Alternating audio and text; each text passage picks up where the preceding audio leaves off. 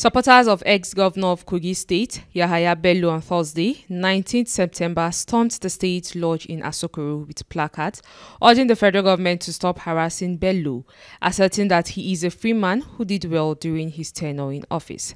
In a statement by one of his supporters interviewed by our newsmen, he stated that the federal government should focus more on others who are also facing similar charges. Nigerian in this country, he is not the only one being accused. There are many also being accused, but not exposed except Yahaya Bello.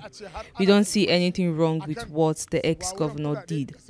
Others who are supposed to be investigated have not been investigated. Ba a bincike su ba sai Yahaya Bello. Let Yahaya exercise his fundamental right as he is still a citizen of the nation. do not want any kind of victimization. He's a free citizen and he must be allowed to move freely as a citizen of this country. We want to be law abiding, just like Yahya Bello have been. He's one of us. We are in solidarity with him and we do not want any kind of crime at all.